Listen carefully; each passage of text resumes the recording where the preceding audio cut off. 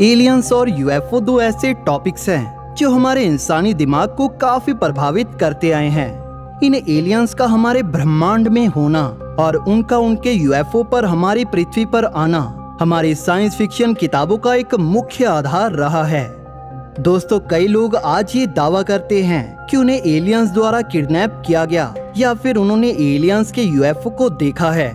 ऐसी खबरें हम एक लंबे समय से सुनते आए हैं। लेकिन वहीं बात करें विश्व भर की सरकारों की तो ये एक लंबे समय से ऐसी सभी घटनाओं को झूठा बोलती आई हैं। लेकिन कुछ ही समय पहले अमरीकी सरकार के डिपार्टमेंट ऑफ़ डिफेंस के हेडक्वार्टर्स, पेंटागन द्वारा कुछ ऐसी वीडियोस को रिलीज़ किया गया, जिनमें हमें एक उड़न तश्तरी जैसा कुछ दिखाई दे रहा है, और इसी के साथ अगले महीने पेंटागन एक रिपोर्ट को पब्लिश करने वाला है ऐसा क्या हुआ जो यूएफओ की एग्जिस्टेंस को खारिज करने वाले देश ने ऐसी वीडियोस को ऐसे ही रिलीज़ कर दिया?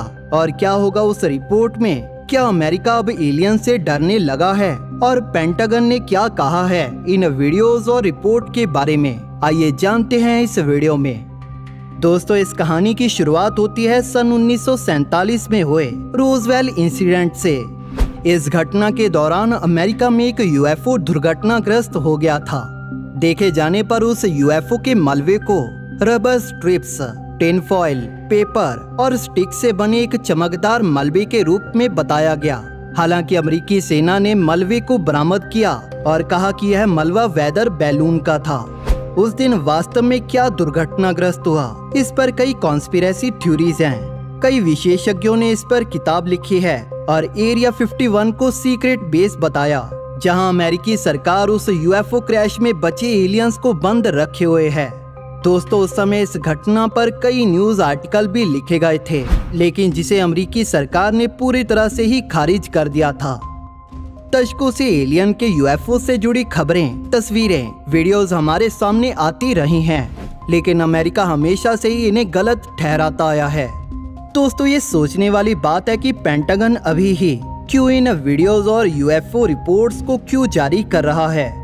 दोस्तों, इसकी शुरुआत होती है 2017 में एक लीक्ड नेवी वीडियो से, जैसे ऑनलाइन सोशल मीडिया में अफवाहों की बाढ़ आ गई थी। इस फुटेज में हम अजीब दिखने वाले विमानों के एक समूह को अजीब मैन्योवर करते हुए देख सकते हैं, और जिसे देखकर नेवी पायलट्स भी काफ़ी ज़्यादा हैरान रह गए थे। इसके बाद अप्रैल 2020 में पेंटागल ने ऑफिशियली अनआइडेंटिफाइड एरियल फिनोमिना के तीन वीडियोस रिलीज़ किए जिन्हें नेवी पायलट्स द्वारा कैप्चर किया गया था। पेंटागन के ऐसे वीडियोस को रिलीज़ करने ने इस और इशारा किया कि ये वीडियो पूरी तरह से सही हैं, लेकिन जिससे हम यह नहीं जान सकते कि यह क्राफ्ट्स क्या थे या इन्हें क्या माना जाना चाहिए। Intelligence authorisation act for official year 2021 में एक संशोधन किया गया, जिसमें यूएपी की थ्रू आउट इन्वेस्टिगेशन का ऑर्डर दिया गया। दिसंबर 2020 में सरकार ने इंटेलिजेंस ऑथराइजेशन एक्ट लॉ बनाया और यूएपी पर एक अनक्लासिफाइड रिपोर्ट को 2021 में पब्लिश करने का ऑर्डर दिया। दोस्तों, ये एक्ट मेमोथ अप्रोप्रिएशन बिल का एक हिस्सा था। जिसमें कोविड 19 से इकोनॉमिकली फॉल आउट वाले लोगों के लिए फाइनेंशियल एड चेक्स भी शामिल थे। दोस्तों, इस रिपोर्ट को जून में पब्लिश किया जाना है। इसे डायरेक्टर ऑफ़ नेशनल इंटेलिजेंस और सेक्रेटरी ऑफ़ डिफेंस द्वारा कंपाइल किया जाएगा। और इसमें वो सब बताया जाएगा जो अमेरिकी सेना को इन घटनाओं के बारे में पता है। दोस्तों, इस रिपोर्ट का आना कुछ लोगों के लिए सपने के पूरे होने के जैसा है। इनमें से एक है जेरमी कॉर्बेल जो कि पेशे से एक फ़िल्म मेकर हैं और जिन्होंने 2019 में यूएस नेवी द्वारा सैन डिएगो के कोस्ट में कैप्चर्ड फुटेज को शेयर किया था। जेरमी कॉर्बेल द्वारा शेयर की गई इस फुटेज को डिपार्टमेंट ऑफ़ डिफेंस ने कंफर्म करके कहा कि इस वीडियो को मिलिट्री द्वारा ही रिकॉर्ड किया गया था। जेरमी कॉर्बेल का इस रिपोर्ट के बारे में कहना है कि मैं एक ऑप्टिमिस्ट हूँ, इसलिए मेरा मानना है कि हमें इसके बारे में ज़्यादा कंफर्मेशन मिलनी चाहिए। कि हमारी पृथ्वी पर मौजूद यूएफओ के बारे में मिलिट्री क्या जानती है? आइए दोस्तों, अब जानते हैं इस रिपोर्ट में क्या कुछ होने वाला है। नेशनल इंटेलिजेंस के पूर्व निर्देशक जॉन रेडक्लिफ ने इस साल की शुरुआत में फॉक्स न्यूज़ के साथ हाई प्रोफ़ाइल इंटरव्यू में कहा था कि इस रिपोर्ट में डिफ़िकल्ट टू एक्सप्लेन साइटिंग के बारे में जानकारी होगी। यानी कि ऐसी घटनाएँ जिन्हें हम एक्सप्लेन नहीं कर सकते। अपने ऐसे इंटरव्यू के दौरान जॉन रेडक्लिफ कहते हैं कि हम उन वस्तुओं के बारे में बात कर रहे हैं, जिन्हें नौसेना या वायुसेना के पायलट्स द्वारा देखा गया है, या जिन्हें सैटेलाइट इमेजरी द्वारा पिक किया गया है, जो स्पष्ट रूप से उन एक्शन को कर रहे थे, जिन्हें समझना मुश्किल है। ऐसी गतिविधियाँ जिन्हें दोहराना मुश्किल है और जिन्हें करने के लिए हमारे पास टेक्नोलॉजी नहीं है। या इतनी स्पीड से ट्रेवल कर रहे हैं जो साउंड बैरियर को आसानी से तोड़ दे। इसी के साथ अप्रैल 2020 में पेंटागन द्वारा रियल कंफर्म किए गए तीन वीडियो और डिपार्टमेंट ऑफ़ डिफेंस ने जुलाई 2019 में ली गई यूएपी की कई तस्वीरों और वीडियो की ऑथेंटिसिटी की भी पुष्टि की। डिफेंस डिपार्टमेंट की एक स्पोक्स वुमेन ने अप्रैल 2021 में इस बात की पुष्टि की कि ट्रायंगल शेप्ड फ्लाइंग ऑब्जेक्ट की फुटेज रियल है और जिसे नौसेना के पायलट द्वारा रिकॉर्ड किया गया था। उन्होंने इसके बाद कहा कि डिपार्टमेंट यह नहीं बता सकता कि वो ऑब्जेक्ट क्या थे। इस सब के बावजूद अभी भी यह स्पष्ट नहीं है कि क्या रिपोर्ट में वह फुटेज भी शामिल होंगे, जिन्हें लोग पहले देख चुके हैं, या वे इनमें नए वीडियोस को रिलीज़ करेंगे।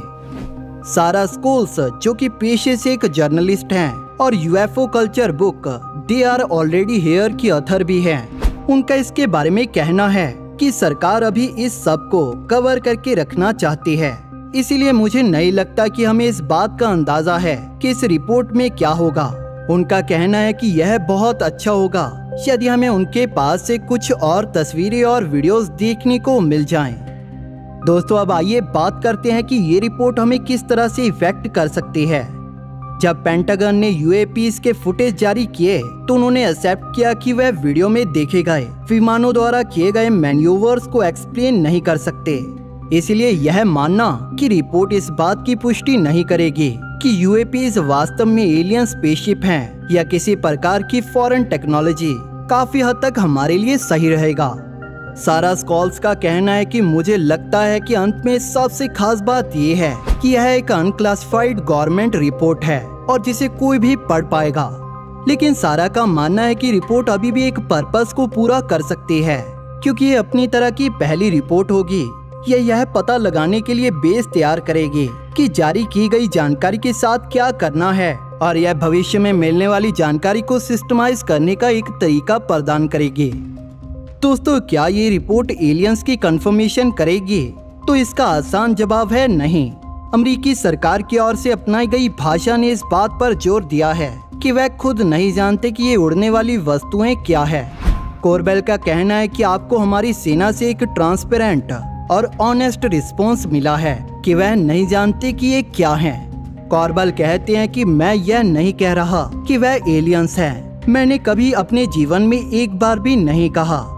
मैं जो कह रहा हूँ, वो ये है कि ये अज्ञात हैं और हमें जानने का अधिकार है, जानने की ज़रूरत है और सुरक्षा के दृष्टिकोण से, राष्ट्र सुरक्षा के दृष्टिकोण से। साथ ही साथ हमारे ब्रह्मांड में हमारी मनुष्य जाति की जगह को समझने के लिए उन्होंने आगे कहा, अब क्या वह एलियंस हो सकते हैं? ज़रूर। हालाँकि एलियन इंथुजियास्ट सरकार द्वारा यूएपी के फुटेज की पुष्टि करने पर खुशी मना रहे हैं। लेकिन इसका मतलब ये नहीं है कि वह मान रहे हैं कि ये एलियन स्पेसशिप हैं। इसके बजाय सरकार की मुख्य चिंता ये है कि इनसे हमें किसी प्रकार का खतरा है या नहीं स्कूल्स कहती हैं कि शायद इस रिपोर्ट में इस बात पर ध्यान दिया जाएगा कि क्या यूएपी एक राष्ट्रीय सुरक्षा खतरा पैदा कर सकते हैं, जो कि बहुत ही बेसिक सी बात है, जहाँ ज़्यादातर लोग इस रिपोर्ट को एलियन स्पेसशिप से जुड़ा सोच रहे हैं वहीं हो सकता है कि ये रिपोर्ट केवल